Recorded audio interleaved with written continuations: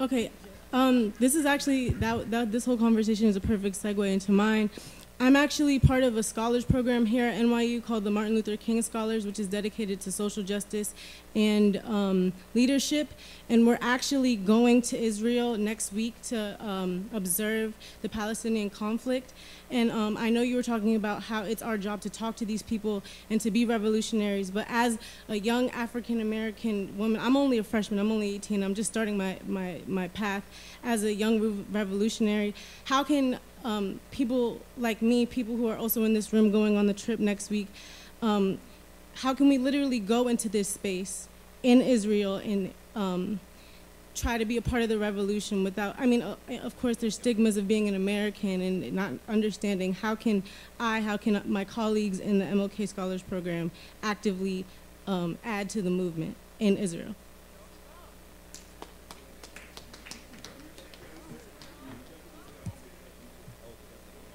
Go, okay. Hi, thank you. My, my name is Laura and my question has to do, I'm from Colombia and my question has to do with uh, this notion of the personal, this political.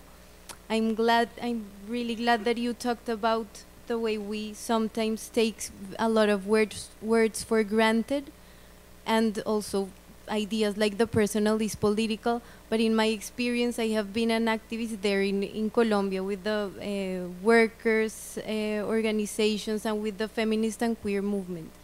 But something that really, really preoccupies me, and I would, the question might sound really trivial, but I, I really would like to listen uh, to your experience um, in the um, in organizing and what happens with the political as personal, because the state and the this uh, notion of the prison nation is also embodied in you, and you have a lot of logics uh, of that that are reproducing your daily experience. So I would like to know how you have dealt with that, because if I don't know, I identify myself myself as um, person without that doesn't stand in any box of identity.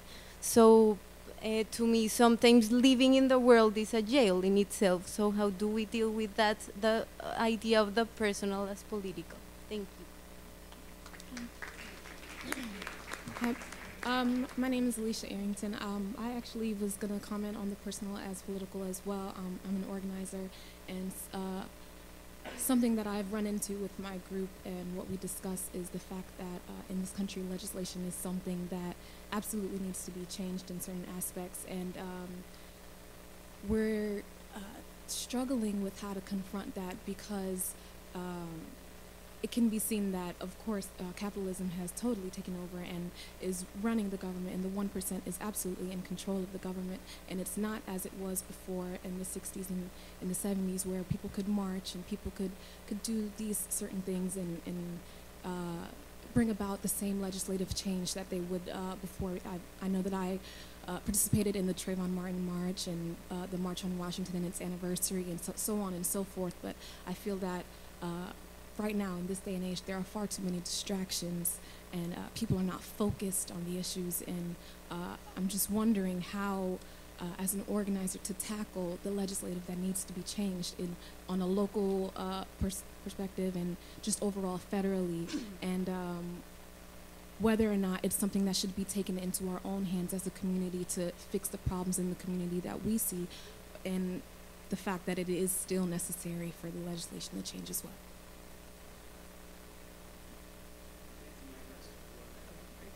Hi, um, thank you for coming. My name is Erica. I'm a grad student here at NYU.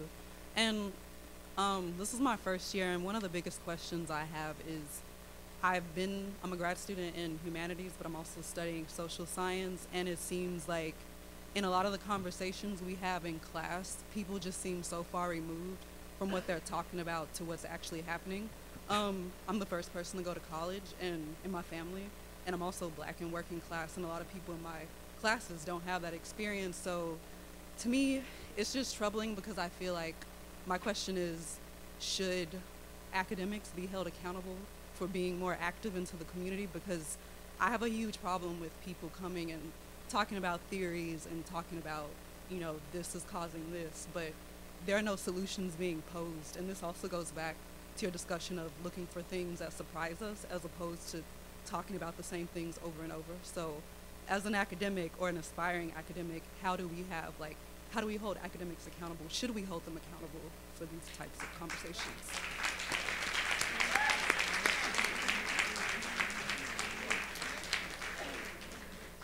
Hi, Angela. My name's Angelo. Um, I, I go to St. John's University. I'm a junior.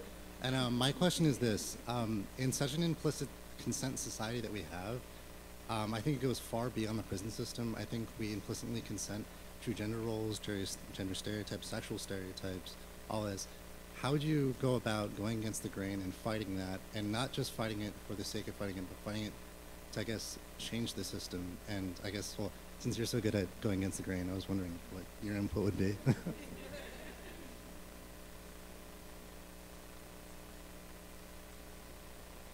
Hi. I'm very happy to see you. And I think we should take a look at this audience. And it's a tribute to you that this audience has so many men in the audience. I have been to so many activist important sessions on feminism, and they're all women. We don't need to talk to each other. The problem is not the women, the control is the men. So, therefore, uh, let me say number one, I am an alumnus. I had the pleasure of going to NYU and studying with all the frisky, subversive faculty, and I learned a couple of tricks.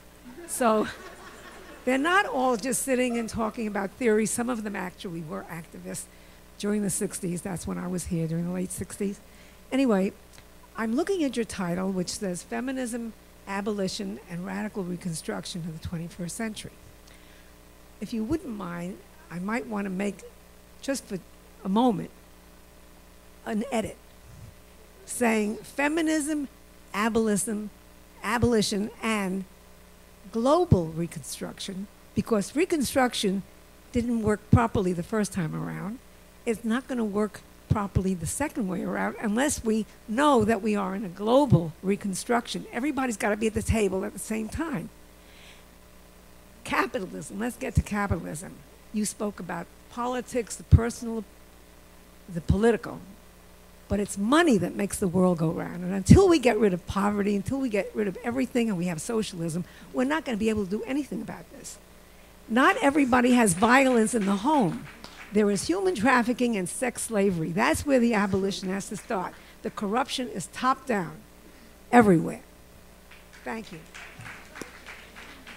Hi, Angela. My name is Saya Abdelgafar. I am, when I graduated college, I wanted to be a permanent activist forever and get paid um, and not be poor. So I became a teacher, but I'm still poor. So um, my question is, I work in a, um, a New York City public school where 43% of my students have been recently incarcerated.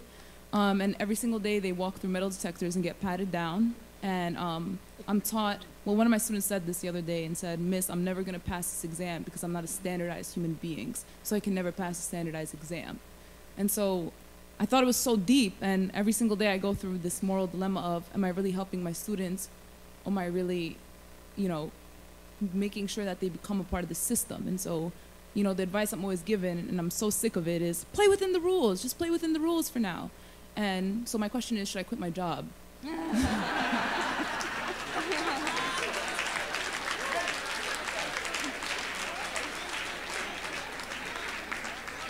Hi, um, my name is Kashmir. Thank you for your time. I have a very similar question, actually. I'm a social worker working in an alternative to detention program, and I'm wondering for youth. I'm wondering what you think about alternatives to incarceration in light of your commentary on moving reform to abolition. abolition. Thank you. Hi, my name is Kenyatta McLean. Um, first of all, I want to thank you for being here and speaking to us. Um, going with Sally's kind of um, question around once you graduate college, there's a big hit for us in terms of like if you're activist on campus, it's very hard once you get off and you're like working, you get very quickly put into a cycle. And I call it the hamster wheel. All my friends know I'm like, I feel like I'm on the hamster wheel. And so my question is pretty much how in in our present um, day as activists that want to continue to um, make the change the world and make the world better. How do we deal with this? The big rolling. My big thing is my student debt, right? And so that's what keeps me at my job and keeps me not doing the activist work that I want to do. So I guess how do you balance that your personal needs um, and your want to help the community globally?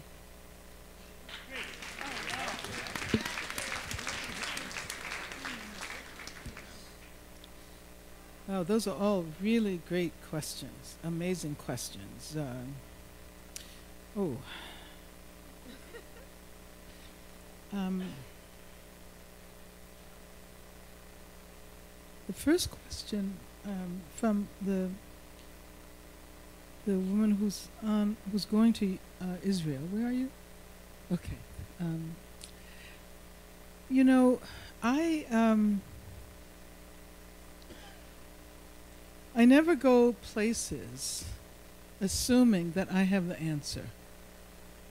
Uh, and so I would not come to New York from California assuming that I know exactly what needs to be done in this city. What is important is to listen. And you will find people there who are involved in the struggle who are involved in ongoing struggles against the occupation. And take your leadership from them.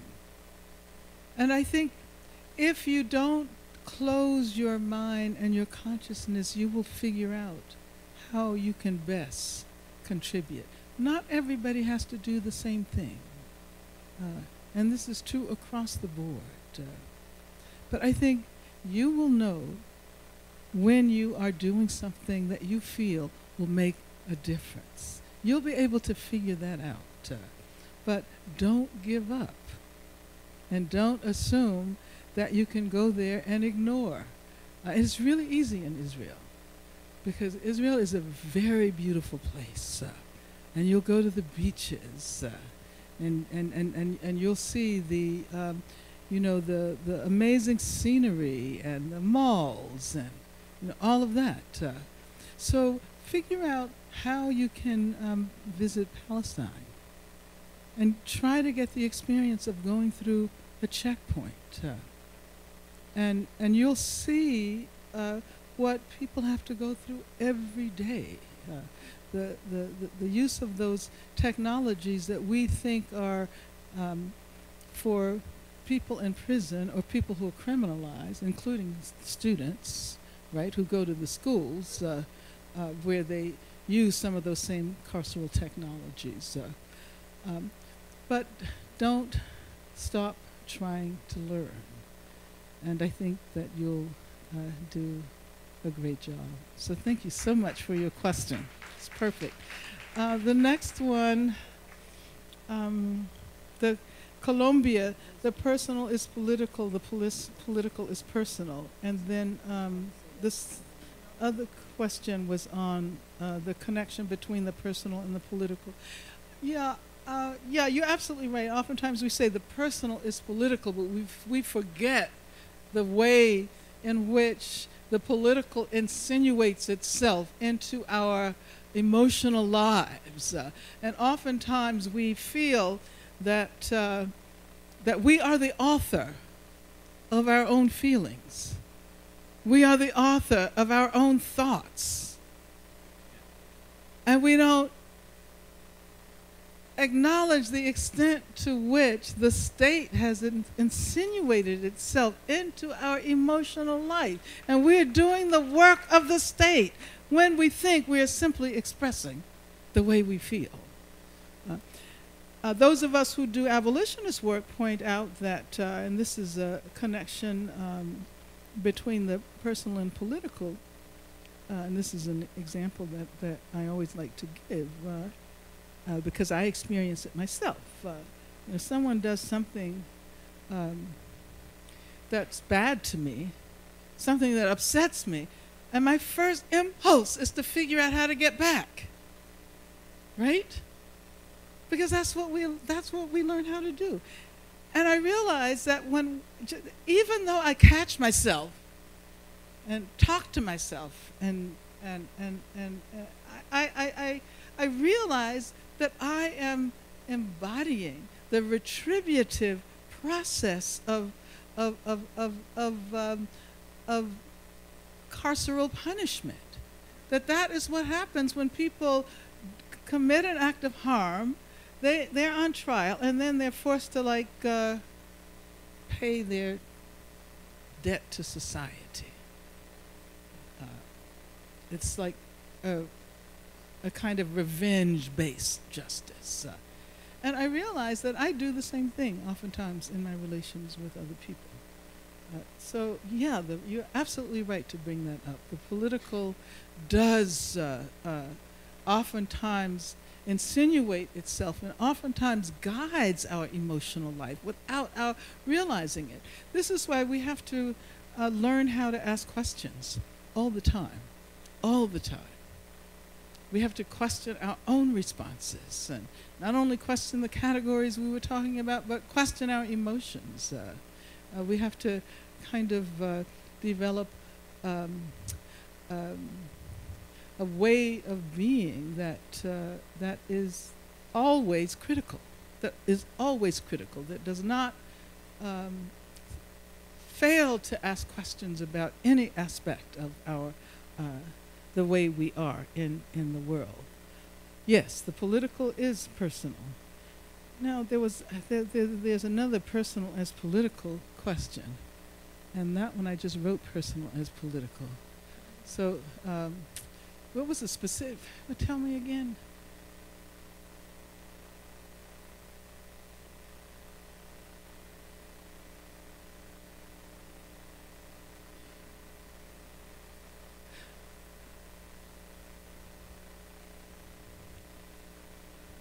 Oh, the distractions. Okay, I wrote. I wrote that. I was going to answer the how to avoid distractions. So I put it on another line. So I thought, thought I didn't realize it was the same question. Uh, uh, we can't avoid distractions. There's no way we can avoid distractions. There's no way we can be focused all the time. You know, a person who's focused all the time on a narrow notion of what it means to struggle for justice would be very boring. I mean, I've met people like that, haven't you? They don't know how to laugh. They don't like to party. You know? And I don't want to be in a struggle with somebody like that because, you know, if that's what they're fighting for, if that's the way they want to be once they, you know, win their struggle for justice, I don't think I want any of that. Uh, um, so I think it's really important um, to recognize that not everybody is going to be doing the same thing all the time. And so, yeah, um, people, I mean, I, I like to say that, that, that, that everybody should follow their own passion, but just make sure that passion has something to do with changing the world. But you have to do it your own way. You cannot uh, do it in a prescribed way because after a while you will become very bored and you will stop doing it. So figure out how you can make your contributions through something that you really love. You know, something that you're going to be able to stick with. Something that you won't next year say, oh, okay, been there, done that. Uh, and I think that is so important to be flexible and to understand when people um, are distracted. Uh, we all like, you know, we all have to be distracted sometimes. Uh, and as a matter of fact, one of the points that I often make is that we have to also combine a, um, a practice of self-care. You know, have, we have to be able to rest sometimes, and we have to be able to, you know, to meditate. We have to be able to take care of our bodies and, you know, do whatever we do, whether it's yoga or, you know, whether it's like eating right, and and we have it, it's, it's about living the, um, the politics that you are struggling for as well. Um, uh, yes, uh, academics should be held more accountable. Uh, but it's also true that, um, that there are a lot of academics who do amazing work. You know, you can't again use this category academics to say that you know uh, uh, academics are all uh, uh, have all bought into the idea that they are the ones who are superior. And one of the things I find is so important is to emphasize all the time, and I try to say this every time I, am on an institution of higher learning such as this, uh, uh, that this is not the only place where knowledge is generated. This is not the only place. Uh, and, you know, just because you have a degree, uh, that doesn't mean that you're smarter than your, the members of your family uh, and people in your community whom you may have learned a lot more from, you just don't realize it. You think you learn that from your instructor, but actually you learn that, you know, from somebody. It's just that you may have learned how to articulate it differently. Uh, and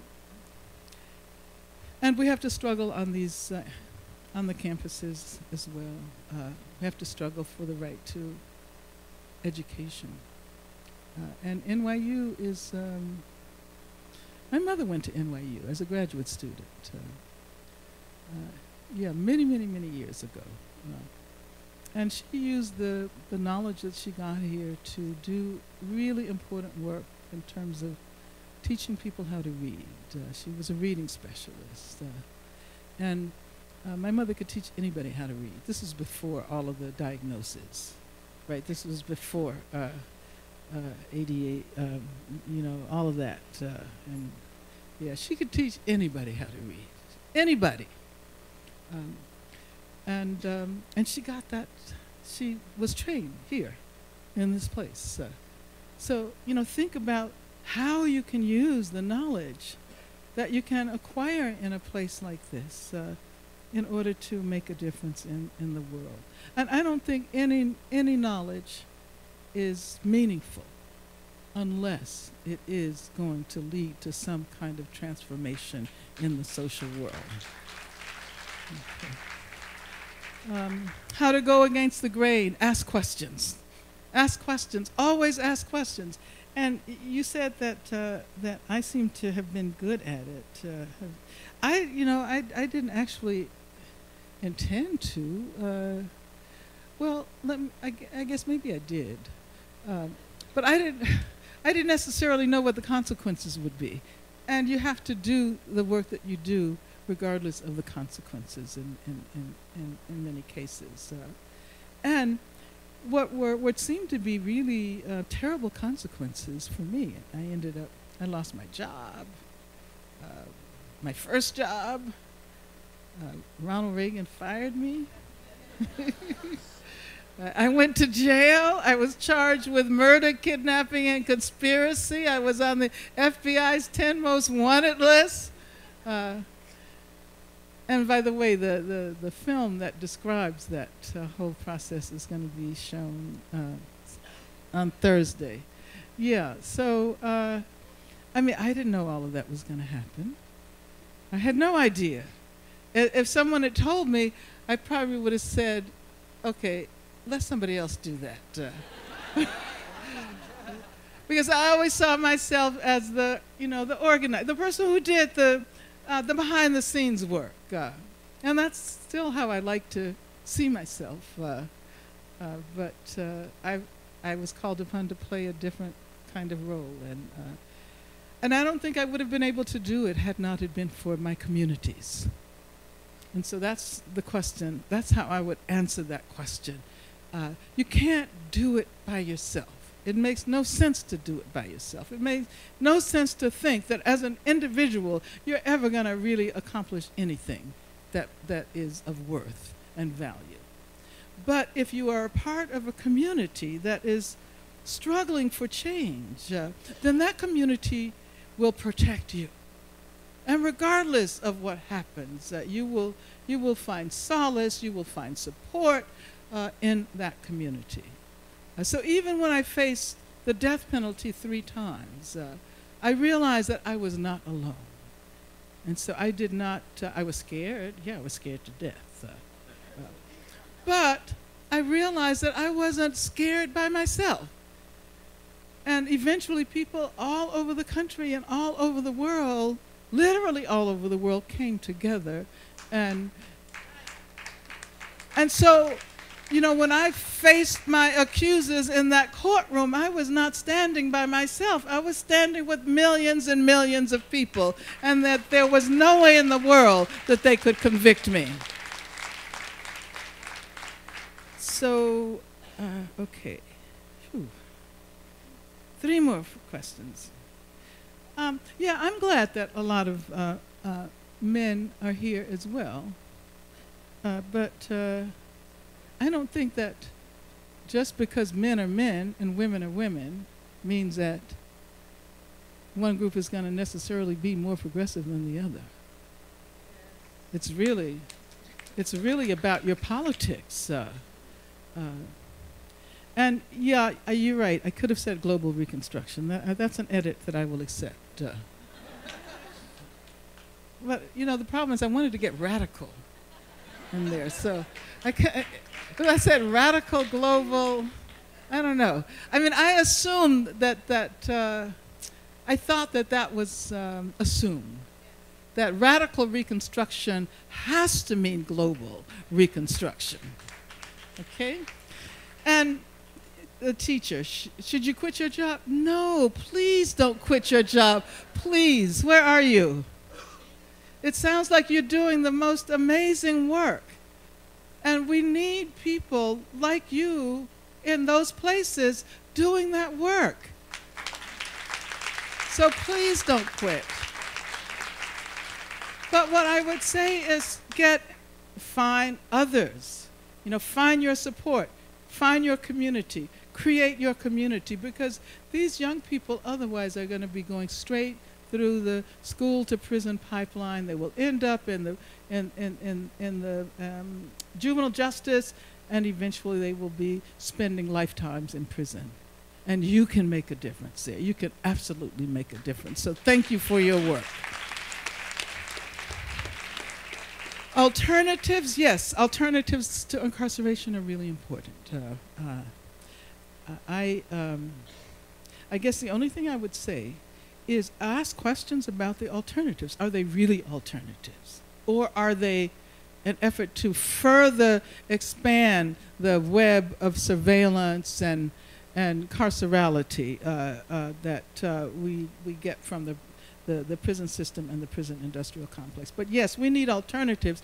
But for me, the major alternatives are schools and jobs and housing and health care and all of the things that will make it uh, impossible for the prison to remain as the major institution that addresses our unsolved social problems. And finally, one final question. Um, how yeah, what happened? Those of you who are students, you should recognize that you will never again experience a period like this. Um, if if you get tired of reading, later on you will say, "Oh my God, I had."